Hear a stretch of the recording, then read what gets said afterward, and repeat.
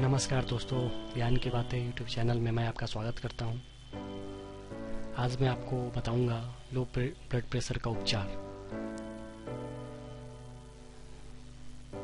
इस भागती ज़िंदगी में हर कोई किसी न किसी तनाव में ज़रूर है। जैसे कि किसी को ब्लड प्रेशर हो जाता है तो किसी को low blood pressure low blood pressure के भी बहुत सारे सिम्टम्स हैं। जैसे चक्कर आना आँखों के सामने अंधेरा छाना, आँखों के सामने अंधेरा हो जाना, थोड़ी देर के लिए बेहोश हो जाना, आदि ये सारे लक्षण हैं। आपको भी अगर ऐसी समस्या है तो अपनाएँ ये आसान टिप्स जो मैं आपको बताने जा रहा हूँ, जिससे आप आसानी से लो ब्लड प्रेशर से बच सकेंगे। नमक को पानी में घोल बनाकर पी लें। चक्कर जैसा अनुभव हो तो आप जहाँ कहीं भी हो, वहाँ बैठ जाएँ या सो जाएँ। अपनी मुट्ठियों को बार बार खोलें और बंद करते रहें। अपने पैरों को हिलाते रहें और भी घरेलू उपचार अपना सकते हैं, जो कि मैं आपको बताने जा रहा हूँ। नंबर वन, घर में किशमिश तो मौजूद ही होगा, उसको रात में किसी कांच के बर्तन में भिगो कर रख दें और सुबह खा लें। हो सके तो किशमिश के साथ देसी चना को भी भिगो दें। सुबह दोनों को अच्छे से चबा चबा कर खाएँ। दूसरा, छाछ। छाछ अक्सर आप पीते होंगे। उसमें बस नमक और भुना हुआ जीरा और हींग मिलाकर पीने से आपका ब्लड प्रेशर हमेशा नॉर्मल बना रहेगा।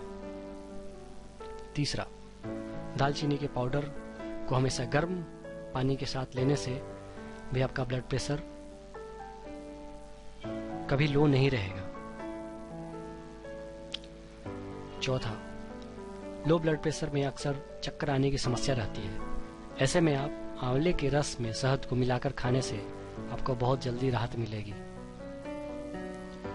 पांचवा, अदरक को आप काट ले और फिर उसमें नींबू का रस और नमक मिलाकर रख लें। अब इसे रोज खाना खाने से पहले थोड़ा खाते रहें। ब्लड प्रेशर आपका लो नहीं होगा।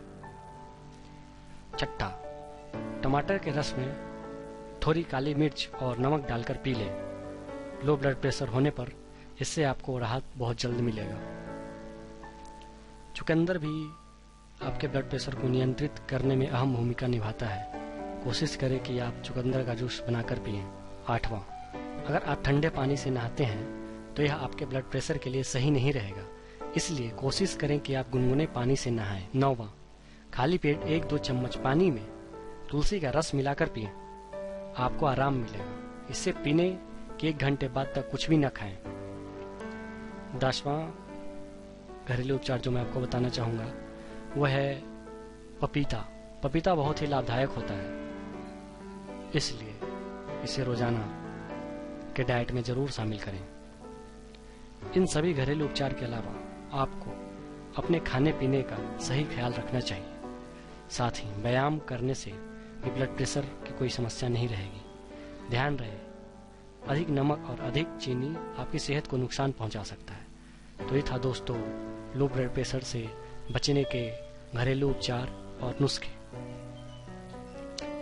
दोस्तों, इस चैनल के माध्यम से मैं आपको, आप लोगों को बीमारियों और उसके घरेलू उपचार के बारे में बताता हूँ। इसके अलावा और भी तरह तरह की महत्वपूर्ण जानकारियाँ आप तक पहुँचाने की कोशिश करता हूँ।